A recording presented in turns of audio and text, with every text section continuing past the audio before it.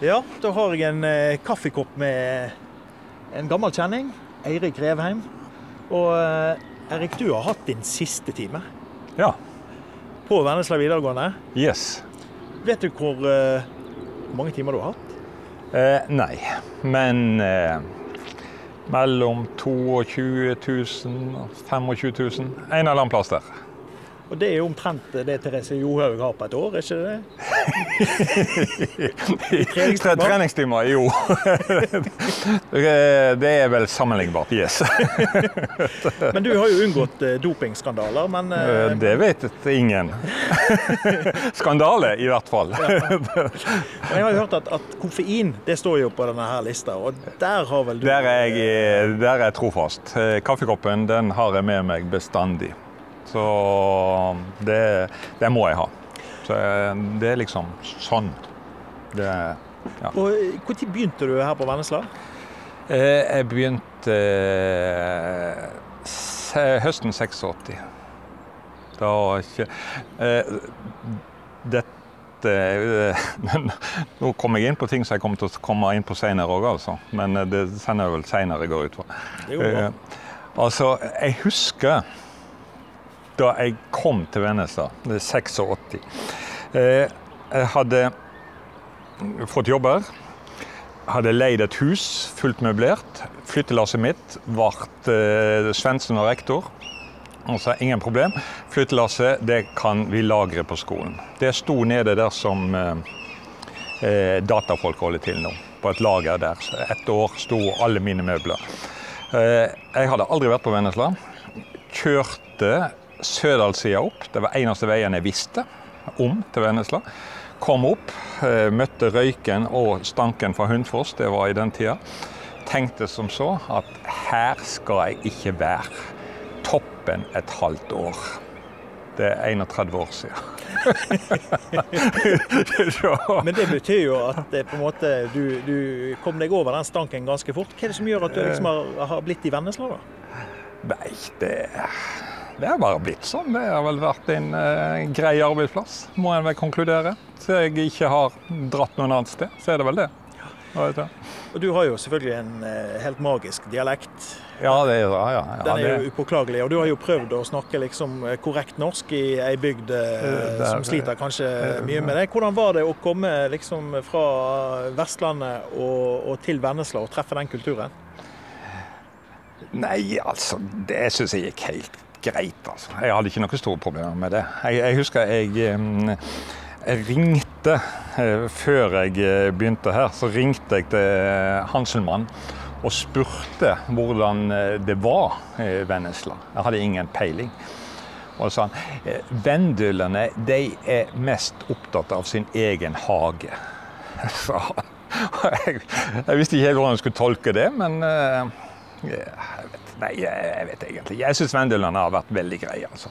Jeg hadde jo mange mange år så hadde jeg jo eh, ansvar for idrettsdagene mm, eh, her på skolen.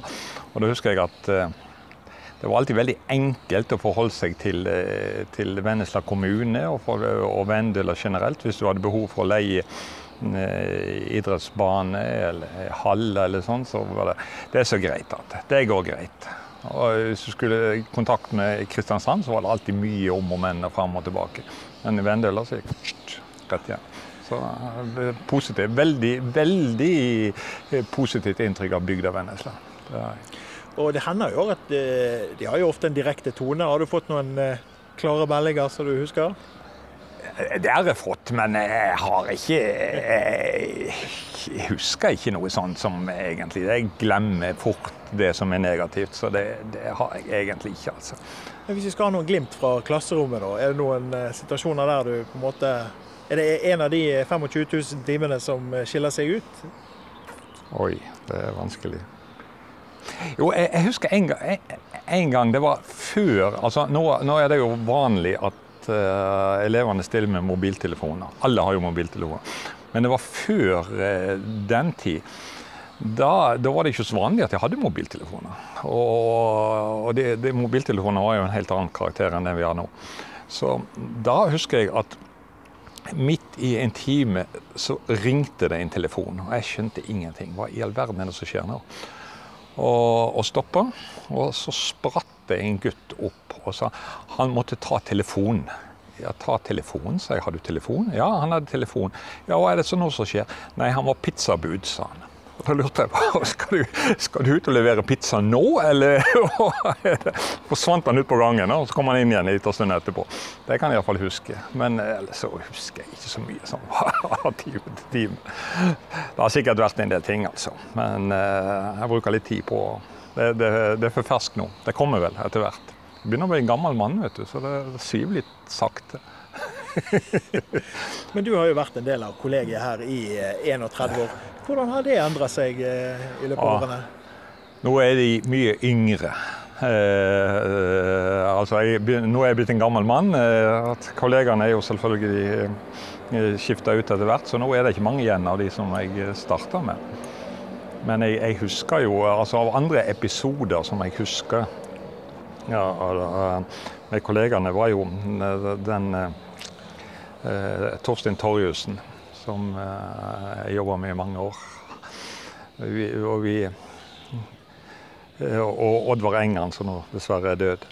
Eh, han, eh, hadde, han, var inspektør her da.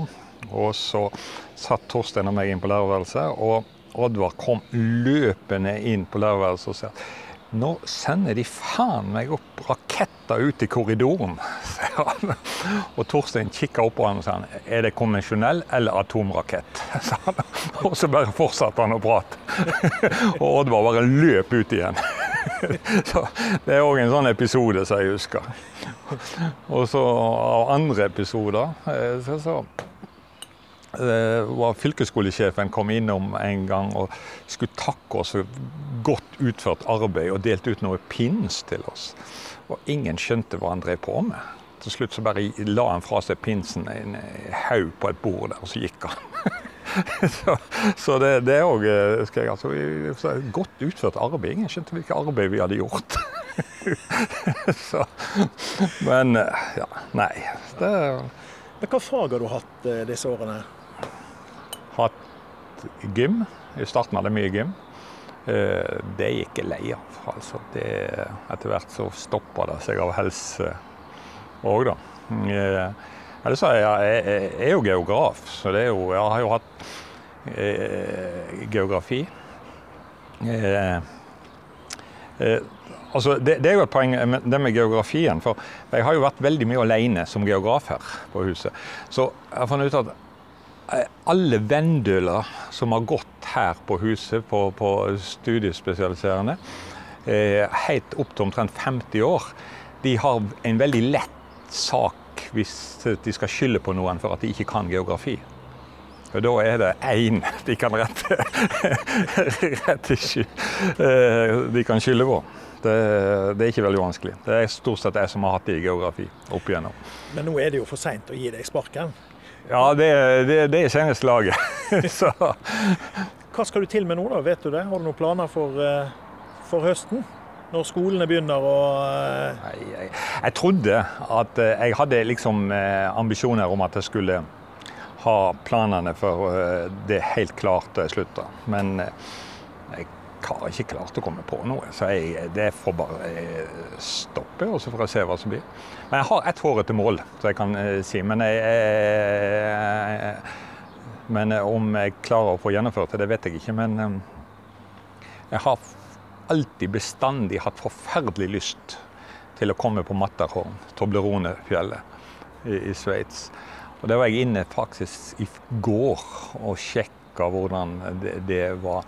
Klatremessig er det ikke så veldig vanskelig, så det skal jeg nok klare. Men eh, det står at du må være i svært god form. Og jeg er i god form, men om jeg er i svært god form, det er jeg eh, mer usikker på. Så, men det er det, Jeg skulle gjerne gjort det, altså. Ja. Det, Vi har litt ulike tanker om hva Toblerone form er for noe. Jeg er vel i en litt annen type Toblerone-form. Men eh, Tusen takk for praten, Erik. Jo. Utrolig kjekt å være kollega med deg. Ja. Og jeg regner med jeg ser deg. Jeg ser deg i byen. Ja, jeg kom vel oppom her òg, altså.